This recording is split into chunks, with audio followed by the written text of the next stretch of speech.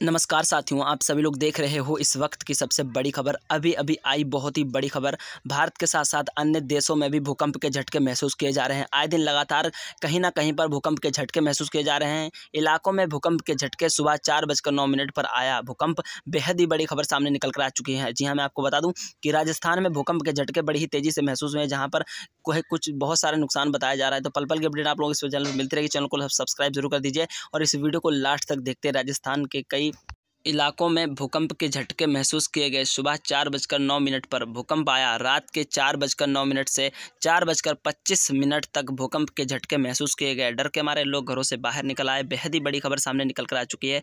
भूकंप के झटके लगातार कहीं ना कहीं महसूस किए जा रहे हैं।